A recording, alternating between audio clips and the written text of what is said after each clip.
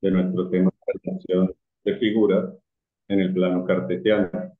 Somos del grupo 3, Carolina Méndez, Jair Jiménez, y con nos habla Joan Rodríguez. Nuestro tutor es Oscar Becerra.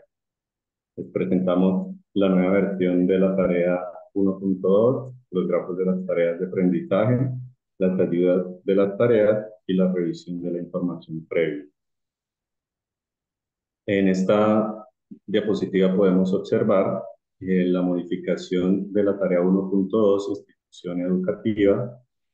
Eh, la modificación que hicimos principalmente fue de la formulación, tratando de que fuera un poco más clara y partiendo de que los estudiantes deben tener como conocimientos previos eh, los conceptos de camino recorrido, distancia y desplazamiento.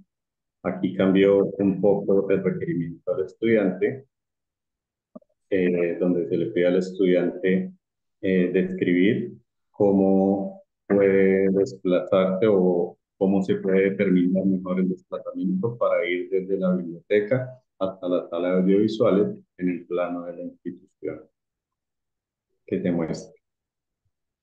Eh, presentamos el grafo de secuencias para esta tarea. En un primer momento, los estudiantes identifican la, que la situación corresponde a una traslación al analizar que se trata de un movimiento desde un lugar físico a otro.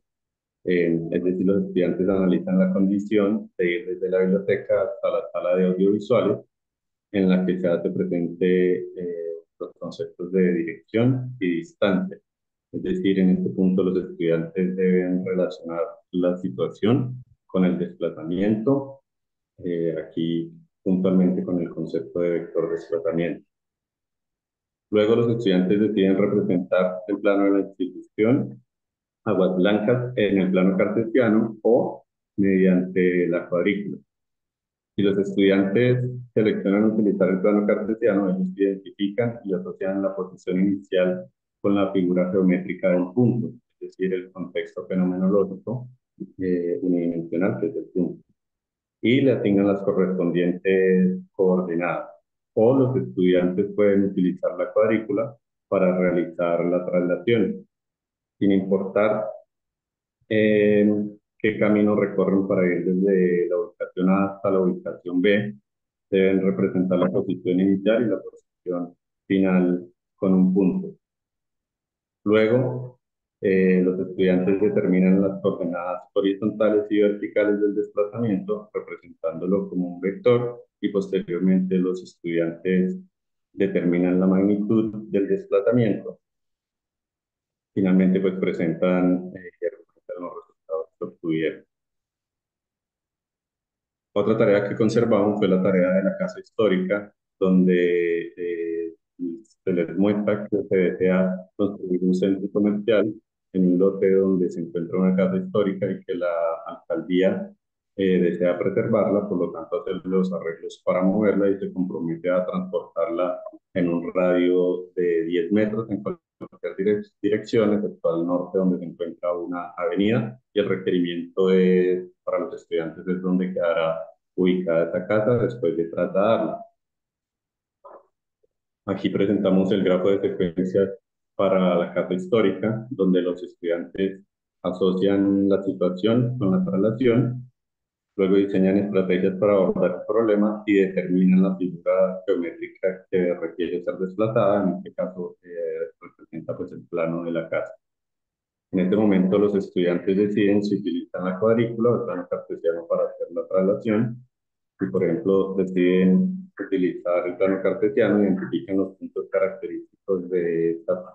esta, de esta figura y grafican las parejas ordenadas en el plano cartesiano. Después los estudiantes deben trasladar cada punto inicial a su nueva ubicación, considerando pues el vector de desplazamiento. Si deciden utilizar la cuadrícula, van a trasladar cada punto de la figura utilizando conteo de unidades e independientemente de la decisión de eh, cuál sistema de representación utilizar. Ellos suben los puntos continuos eh, después de ser trasladados y reconocen que es una traslación oblicua como resultado de una traslación horizontal y vertical. Y por último, explican y argumentan los resultados obtenidos. Presentamos también la tarea 1.1 de la heladería, donde decíamos que María tiene una heladería y se les muestra a ellos el plano de la heladería, además de un conjunto de una mesa con cuatro sillas. Eh, a ellos se les está pidiendo ubicar cómo, cómo va a desplazar ese conjunto de tal forma que se garantice que los clientes dispongan de un buen espacio al ubicar eh, cada conjunto y completar el área de las mesas. Aquí tienen en cuenta dos condiciones. Una es que cada conjunto debe estar ubicado al menos a un metro de, del borde del área de las mesas y que cada conjunto debe estar por lo menos a un metro de otro conjunto de mesa y silla. el requerimiento es pues, que indiquen cuáles son los movimientos que deben realizar a ese conjunto del diseño para completar toda el área de las mesas. Aquí presentamos el grafo de secuencia de capacidades para esta tarea, donde los estudiantes eh, asocian la solución de esta tarea con la traslación. Luego los estudiantes identifican la figura que se va a trasladar, que es un cuadrado en este caso, conjunto de mesas y sillas, e identifican los vértices de esta figura para trasladar. Luego los estudiantes eh, identifican el vector de desplazamiento, dependiendo en qué dirección van a, a desplazar cada conjunto, en este momento los estudiantes deciden si utilizan la cuadrícula o el plano cartesiano para hacer la traslación. Utilizan la cuadrícula, trasladan cada punto, es decir, cada vértice de la figura, utilizando conteo de unidades. Aquí estamos hablando del contexto fenomenológico de polígono. O los estudiantes pueden utilizar el plano cartesiano, donde identifican las coordenadas de los vértices para trasladarlo y luego desplazan cada punto de, esta cada vez.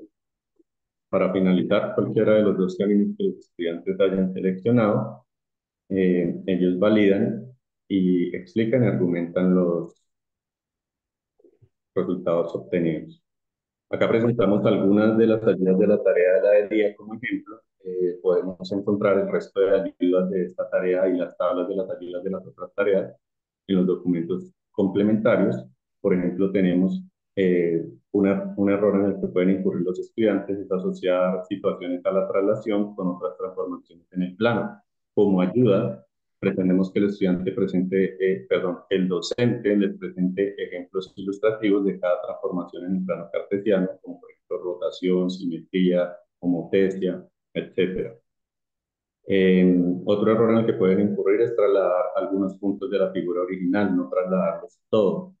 Eh, como ayuda le vamos a pedir al estudiante que cuente el número de vértices que tiene la figura que va a trasladar. Otros errores en los que puede incurrir el estudiante, por ejemplo, puede ser cambiar la forma y el tamaño de la figura al trasladarla y como ayuda eh, el docente va a tomar un cuaderno y lo va a trasladar de un lugar a otro y les va a preguntar a los estudiantes si al trasladar el cuaderno cambió su forma y su tamaño. Esto le va a permitir al estudiante reflexionar acerca de si hay cambio o no de, de tamaño en las figuras. Por último, eh, la revisión de la información previa, previa, incluimos en las tablas de capacidades, en las secuencias, cinco capacidades y eh, cada, cada capacidad pues conllevó también algunos errores que no habíamos tenido en cuenta, tres errores que se encuentran también en los documentos complementarios. Muchas gracias.